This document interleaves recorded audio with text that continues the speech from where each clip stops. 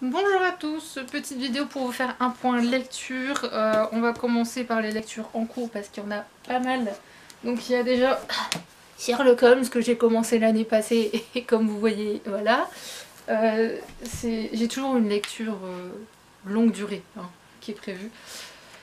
Il y a Phobos tome 2 que j'ai commencé mais c'est vraiment pas le moment de le lire et on est plusieurs. En fait c'est une lecture commune sur un groupe donc, avec Elise et Nobook.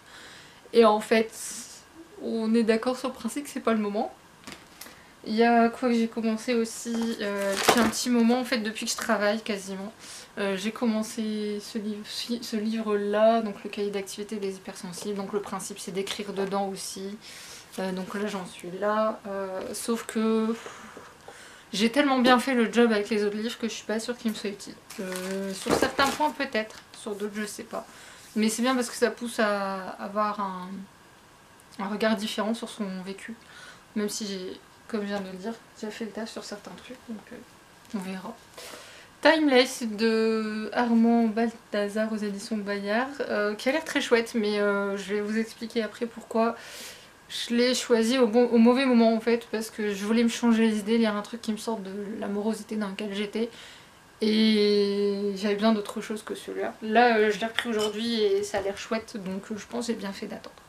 Et j'ai commencé celui-là qui me fait de l'œil depuis un petit moment. Écologie et folie technologique, anthologie de nouvelles steampunk, euh, volume 1 aux éditions Oniri. Et il sent très très bon.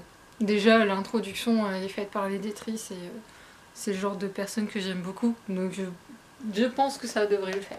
Voilà, ça fait beaucoup de livres commencés, hein, on est d'accord. Euh, je sais pas lequel que je finirai en premier.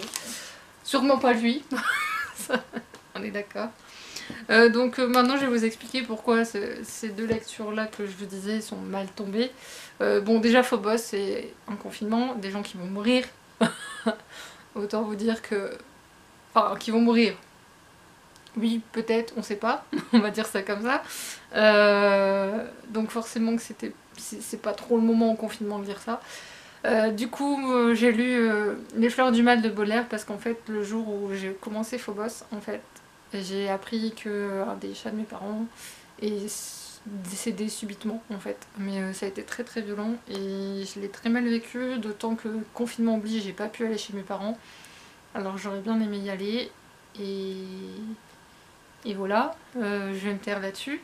Du coup j'ai lu Les Fleurs de Mal parce que quand je vais pas bien, il faut toujours que je sorte un livre que j'ai déjà lu et relu et re-relu. J'ai des valeurs sûres comme ça qui fonctionnent. Et celui-là était prévu dans ma lecture, euh, dans mon défi lecture 2020, donc j'ai dit bah c'est le moment de le sortir.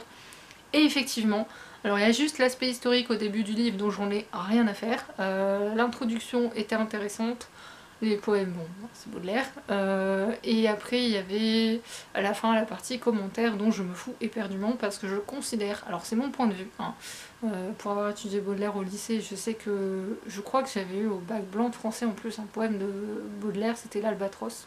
Je connaissais par cœur le, truc. Et euh, ouais, du coup, c'était. c'est même au bac français, je crois que j'ai eu à l'oral. Mais euh, du coup, oui, c'est... Je sais plus ce que je disais. J'ai du mal aujourd'hui à me connecter. Aujourd'hui, c'est... Mais ouais, du coup, Baudelaire, c'est un livre qui m'a régulièrement accompagnée dans les moments difficiles. Et euh, encore une fois, il fait son job à chaque fois, ça te défoule, ça fait du bien. C'est de la poésie. Je, réapprends des mots parce qu'il y a des mots qui étaient utilisés à l'époque, plus aujourd'hui. Donc j'en ai découvert certains. Euh, je les ai pas retenus, hein, parce que bon... voilà. Il sera relu de toute façon un jour, c'est pour ça que j'avais acheté d'occasion parce que je sais que je vais le relire. Ma mère en a un exemplaire mais je lui ai non non, il faut le mien. C'est pas possible autrement. Et euh, je vous recommande Les Fleurs du Mal. Pour moi, c'est euh, Baudelaire, c'est un des meilleurs, enfin si ce n'est le meilleur poète que j'ai pu découvrir jusqu'à présent. Et du coup, euh, comme ma libraire adorée, je te fais de gros bisous, adore les éditions j'ai oublié le nom, je, vais, je vais peut-être... Ouais, non, j'arriverai pas à le trouver. Euh, les éditions Bruno Doucet, je crois que c'est... Euh, il y a beaucoup de livres avec de la poésie dedans. Du coup, ça m'a donné envie de les lire. Et je pense que je vais leur laisser leur chance. Parce que je considère, donc oui, par rapport aux commentaires, que la poésie est quelque chose de strictement personnel. C'est le par rapport au contrat du lecteur. Vous savez, lecteur-auteur, donc là, poète. Je considère qu'on ne peut être touché que par quelque chose qu'on a vécu ou qui nous, qui nous touche en tout cas. J'ai déjà lu d'autres un recueil de poésie avec plein de poètes dedans et ça, certains m'ont pas touché, m'ont fait ni chaud ni froid et là par contre lui ça le fait à chaque fois. C'est euh, quasiment toute sa poésie me touche. J'ai Spleen de Paris je crois à lire aussi. Euh, pas tout de suite parce que lire trop de poésie tue la poésie je pense. Donc euh, voilà. J'ai aussi lu, alors le jour, ce jour-là ou le lendemain, je ne sais plus, Chronique d'un écrivain et de son éditeur euh, aux éditions Boys Love. Non, c'est mercredi que j'ai lu, parce que c'est un jour où j'ai pas trop lu. Euh, bon, c'est un Boys Love, il y a deux histoires dedans, ça fait le job, ça divertit. Euh, je suis pas convaincue par la relation entre les personnages, mais bon, c'est le principe de se divertir. Je l'ai eu d'occasion, donc j'ai pas de regrets. Je pense qu'il restera pas chez moi. Hein. Honnêtement, j'ai une pile de livres à vendre. Euh, je crois que quand on sortira du confinement, je vais y aller. je vais me faire des sous. Voilà. Je sais pas trop quoi dire en fait. C'est un grosso modo l'éditeur voit un auteur et euh, il va lui apprendre ce que c'est qu'une relation amoureuse et d'autres choses moins recommandables. Euh, donc bon, c'est un peu cliché, on va dire ça. Real Lies de Lee Si-young aux éditions Gocha One, 2003 qui date ce, ce, manoir, puisque c'est un recueil de trois histoires euh, de science-fiction, dissipation, pardon, sur le thème du mensonge. Euh, elles sont toutes les trois bien fichues. Je n'en dirai rien parce que ça va très vite et que et que ouais c'est bien fichu, il n'y a pas d'explications qui perdent leur sens, qui font perdre leur sens au fond de l'histoire. Euh, j'aime bien le caractère du, de l'auteur. Euh, il a fait un petit truc à la fin pour expliquer son travail et il me dit t'avais pas besoin de l'expliquer mais ouais ça te fait plaisir. Et euh, le manoir porte très bien son nom, j'aime beaucoup les graphismes aussi qui sont très bien faits. Oui parce qu'en plus on a quelques pages en couleur. Je l'ai eu d'occasion, je sais pas, un euro peut-être, euh, je suis au regret de dire que à mon avis la maison d'édition n'existe plus. C'est dommage parce que c'est un...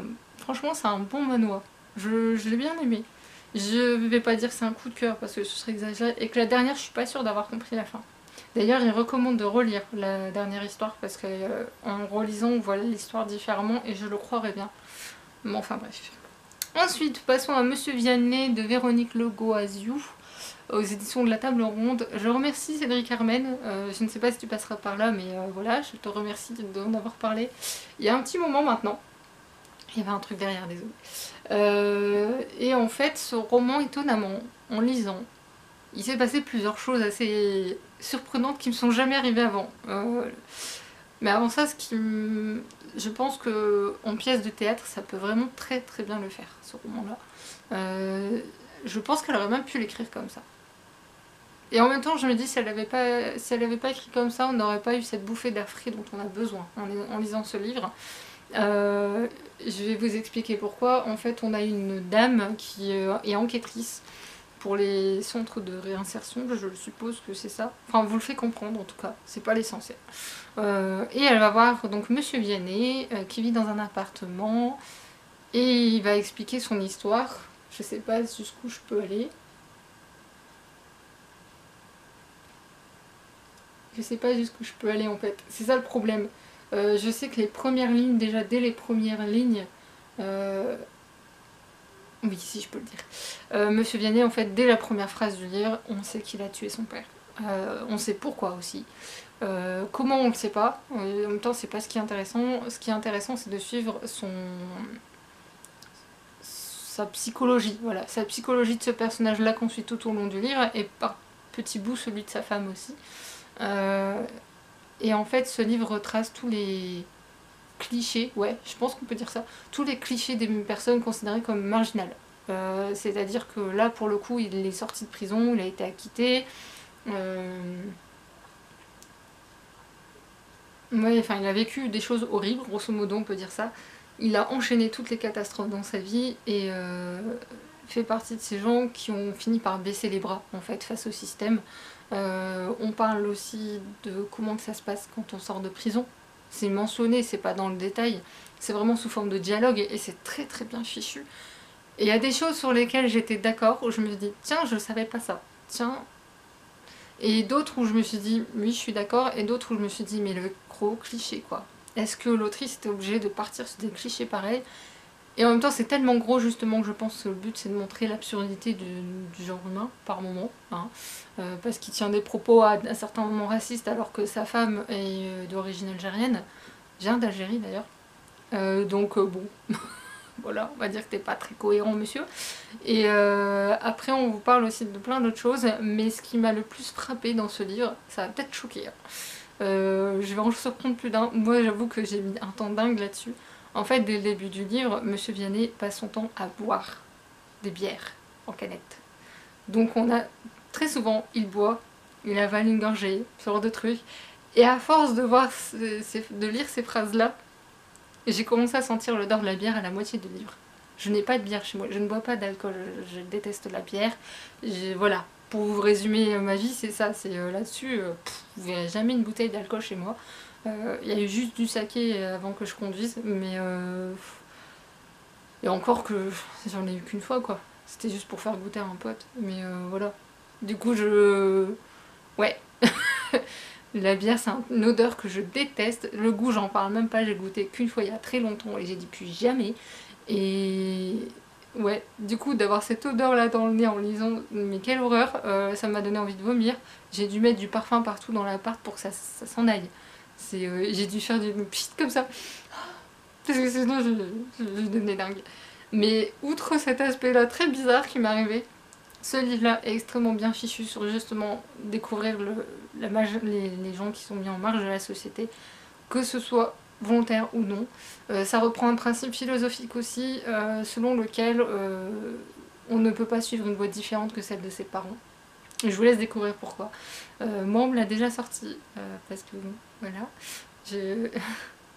Quand un philosophe me dit ça, enfin le philosophe qui nous a dit ça, c'était notre prof de philo, la première année terminale. Je me souviendrai toujours de la tête qu'on a tous fait, on l'a regardé. Pardon? Non Non. Si on a décidé de changer, on peut faut juste le vouloir, avoir un peu de chance aussi, il faut dire ce qui est.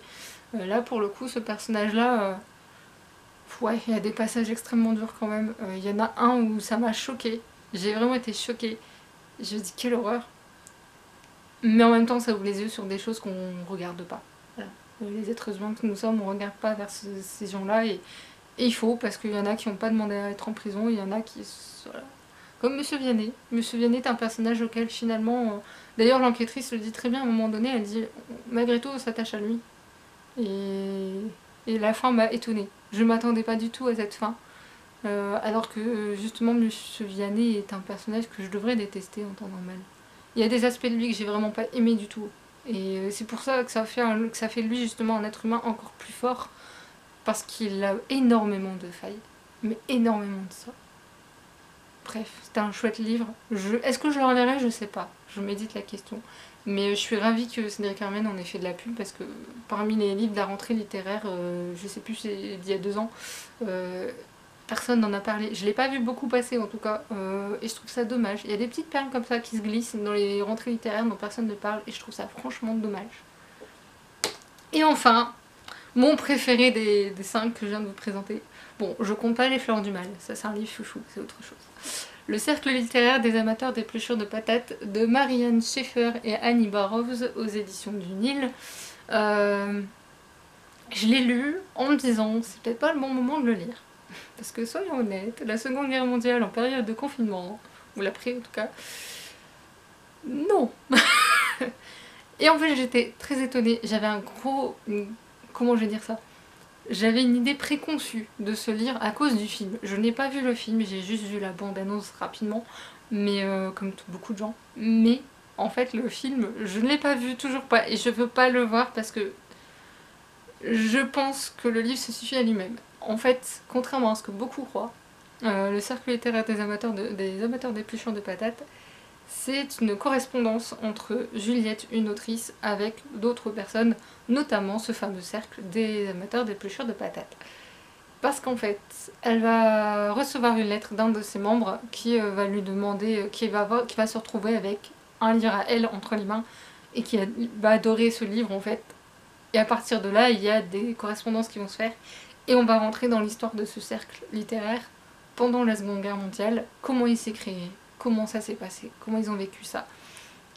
Et en fait, j'ai beaucoup aimé parce que malgré le côté sombre de la Seconde Guerre mondiale, comment ils l'ont vécu et traversé, il y a cette euh, lumière par rapport à la personnalité de Juliette qui m'a fait profondément rire, la façon dont elle écrit, les mots qu'elle emploie, l'humour qu'elle a. Elle a énormément d'humour et elle est très très humaine. C'est ce qui fait tout son charme.